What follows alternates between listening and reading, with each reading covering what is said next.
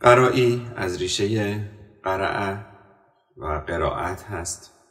مثل روایت و راوی یا روایی قرائت و قاری یا قرایی. به معنی خواندن. گوشه ای در اوج آواز افشاری به حساب میاد. در منطقه عراق قرار گرفته. می‌تونیم بگیم گاهی یک پرده بالاتر از عراق هم ممکنه حرکت کنه. هرچند در عراق همین اتفاق ممکنه بیفته. شاهد قرایی نوت هفتم گام شور می‌تونیم در نظر بگیریم. مثلا اگر شور سل در نظر می‌گیریم قرایی روی نوت فا قرار می‌گیره. و نوت ایست اون رو درجه پنجم یعنی ر در نظر گرفتن که به نظر من نادرست هست و باید درجه چهارم در نظر گرفت. از ویژگی های قرایی که معمولا بیشتر دیده میشه در ردیف های مختلف و از جمله این ردیف این هست که اولا خیلی شبیه به عراقه. یعنی ما دنگ دو ر می به فا در پایین. یعنی ما دنگ دو ر می به فا و بعد دنگ اوج ر می فا سول دنگ شور رو داریم.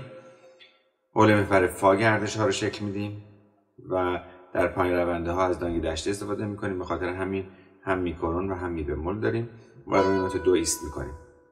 از این جهت شبیه به عراق هست. بنابراین اگر ما سه طبقه در آواز افشاری قائل باشیم یکی طبقه درآمد که بیشتر در این محدوده هستش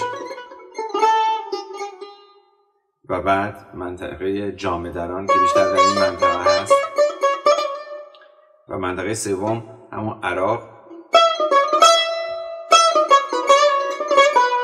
قراری در همین منطقه قرار می‌گیره. و شاید بشه گفت یه پرده هم ممکن بالاتر. بره. که در عراق هم این اتفاق رو ممکن بود بتونیم داشته باشیم. خاصیت دوم و ویژگی دوم در قرایی این هست که تحریر قرایی در این گوشه قرار گرفته. تحریری که یه همچین حالتی داره.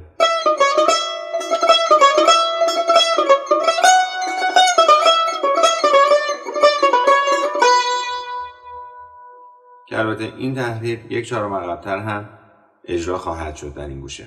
ویژگی سوم حرکت چهارم از دو به فا هست که معمولا در شعر این گوشه استفاده میشه. و در بیشتر ردیف ها این حالت اجرا شده. ویژگی چهارم این هست که قرایی سه محدوده عراق جامدران و درآمد رو در خودش داره یک جا. معمولا گوشه قرایی یک بافت چهار قسمتی داره. مثل دو بیتی. اینجا هم البته می‌بینیم وزن شعر مفایلون مفایلون فعولون یا مفایلون مفایلون مفایل هست که هزج مسدس محصوفه و همون وزن دو بیتیه. این چهار لخت یک لخت معمولا در محدوده عراق لخت دوم در محدوده جامدران و فرود.